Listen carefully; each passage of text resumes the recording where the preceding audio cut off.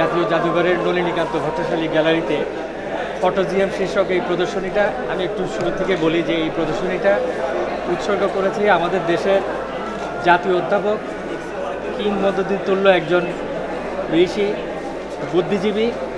তাকে উৎসর্গ করেছি আব্দুর রাজ্জাক। আপনারা সবাই জানেন যে তিনি প্রয়াত, তার জন্ম শতবার্ষিকীও হয়ে গেছে দু হাজার চোদ্দ সালে।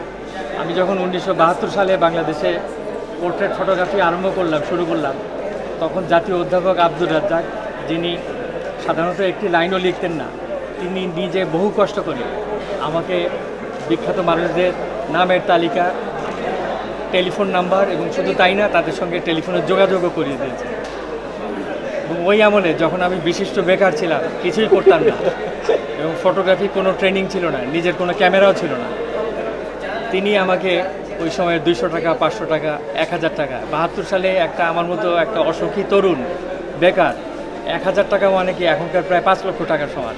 কাজেই এবং শুধু তাই না, তার এনকারেজমেন্ট আমি যখন মনসুর উদ্দিন সাহেবের নাম জানতাম না, গুল মোহাম্মদ খানের নাম জানতাম না, তিনি কিন্তু এই নামগুলি আমাকে দিয়েছিলেন। বাহাত্তর সালে আমি তাদের কাউকেই চিনতাম না।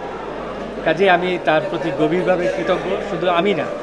আমার মনে হয় যে বাঙালি জাতি এবং এই বাংলাদেশে আমরা যারা শিল্প চর্চা করি মননশীলতার চর্চা করি এবং রাজনৈতিক সচেতন। তারা সবাই তার কাছে ঋণী, নানা কারণে, আব্দুর রাজ্জাক সাহেবের কাছে।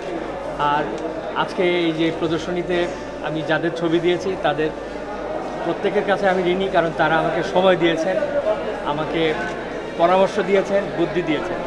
আমি বাহাত্তর সালে পোর্ট্রেট ফটোগ্রাফি শুরু করলাম, নিজের কোনো ক্যামেরাও নাই, ফটোগ্রাফি সম্পর্কে কোনো ট্রেনিংও নাই, কিচ্ছু নাই। কিন্তু আমি তখন কি দেখলাম? যে এই বাংলাদেশে, আপনি সাতচল্লিশ বছর আগের কথা চিন্তা করেন যে বাংলাদেশে ওই সময় এই ফটোগ্রাফির অবস্থা একটা মুমূর্ষ পর্যায়ে ছিল। আমি দেখলাম যে আমাদের দেশের বিখ্যাত লোকেরা সব স্টুডিওতে যায় ছবি তোলার জন্য। এবং স্টুডিওর ছবি কেমন? তিনি আসলে দেখতে যেমন, ঠিক তার উল্টো। সাদা ছবি ডিটাচ ফিনিশিং করা, আসল চেহারার সাথে কোনো মিল নাই। আমি তখন দেখলাম যে এই অবস্থার পরিবর্তন করতে হবে। এক আর দুই, কেন বিখ্যাত লোকদের ছবি তুললাম? আর দুই, আরেকটা কারণ ছিল যে সৃষ্টিশীল মানুষেরা, খ্যাতিমান মানুষেরা, বিশেষ করে আমাদের দেশের লেখক শিল্পীরা, তারা ছিল অত্যন্ত নিগৃহীত, অবহেলিত এবং অবমূল্যায়িত।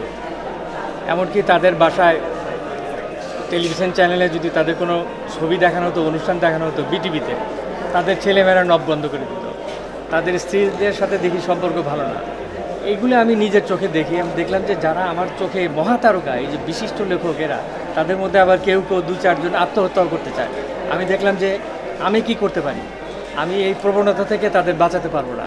তাদেরকে আমি গ্লোরিফাই করতে পারি। কীভাবে ফটোগ্রাফি তুলে তাদের ছবির এক্সিবিশন করে তাদের বিভিন্ন মুহূর্ত আগামী প্রজন্মর জন্য, এই যে সাতচল্লিশ বছর পরে দাঁড়িয়ে আমার এই শরীর শিরশির করে উঠছে, যারা আজকে প্রয়াত, যে কী নিবিড় সম্পর্ক তাদের সঙ্গে ছিল, তারা কত কাজ করে গেছে, অথচ তারা কিন্তু অত্যন্ত অবহেলার মধ্যে দিয়ে গ্রহ থেকে একদম উদাহ হয়ে গেছেন। আর কোনোদিন তাদের খুঁজে পাওয়া যাবে না। শুধু তাদের এই যে ইমেজগুলো, তাদের এই চেহারাগুলো, তাদের চেহারার স্থাপত্যগুলো, আমার ক্যামেরায় ধরা আছে, এগুলো থাকবে।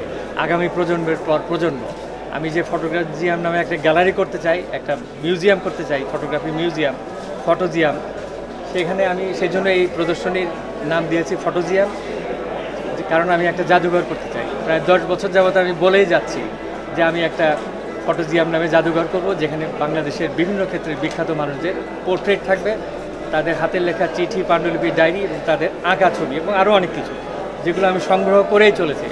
এখন আমার হার্ড ডিস্কে কোনো জায়গায় নেই এগুলি রাখার মতো আমার স্মৃতিতে কোনো জায়গা নেই।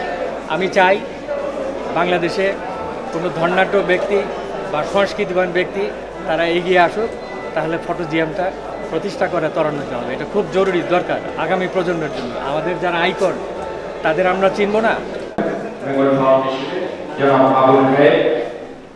উপস্থিত আছেন দৈনিক সম্পাদক জনাব মতিউর রহমান।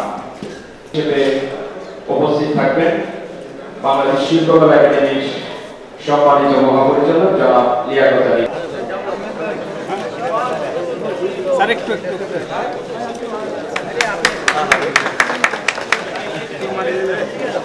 Thank you.